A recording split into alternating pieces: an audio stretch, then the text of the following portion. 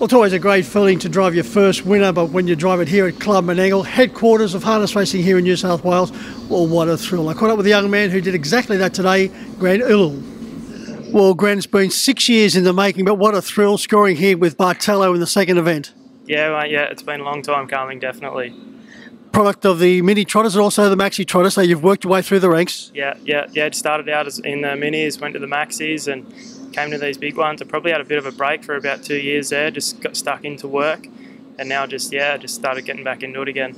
We'll find out about your work very shortly, but after 116 attempts to greet the judge, you did it today and did it in style. This fellow's got a future. Yeah, well, that's a lot, 100 and 116. Um, yeah, no, he's a, he's a lovely little horse. Uh, we brought him up from home um, as a foal, and uh, yeah, really exciting to see what he's going to offer.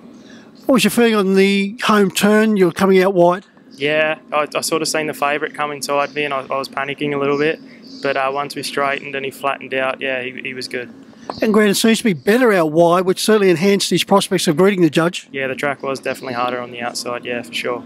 He had the one trial, showed a lot of promise in that trial, so that win certainly wasn't unexpected as far as you're concerned. Yeah, no, Dad and I were pretty confident in him. His, his track work since the trial has been even better than what it was in the past. So, um, yeah, no, yeah, he went really good.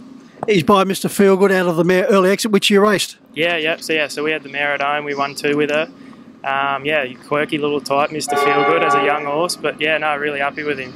Your dad, Alan, trains this horse, and both of you are virtually just hobbyists. You both have your own business, but and following this win, Grant, he does seem to have a lot of upside. You're eyeing off some better class races. Yeah, yeah. Looking forward. He's QBred, QBred eligible, so yeah, we'll be heading to go, trying to go to Queensland, and um, yeah, take take a couple more with us, and yeah, take a little team up as I said, both your dad and yourself are hobby tra- trainer drivers. What uh, business are you in, and also dad? Yeah, so dad's got his own cleaning business. He's, he's got a couple of workers for him, and I just started up my own cabinet making business. So, yeah, just installing kitchens mainly, subcontracting out to a few companies. But yeah, and Nathan Sherab also deserves a bit of credit for this performance. Yeah, definitely, mate. He, um, as a young horse, he's pretty quirky. I Mr. Feelgood, I've heard, uh, heard a lot of little quirky things about him. Um, and just, yeah, the little numbers we have at home, he just needed to be working with another horse every day and, yeah, just le- like learning off another old horse. So, yeah, he, he helped me out heaps.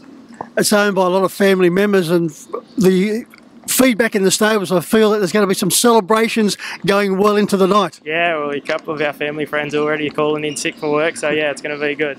Grant, congratulations once again. Hopefully that's the first of many, and in particular with this fellow Bartolo, and I think you're going to have a lot of fun. Yeah, so do I. I hope so. Thank you.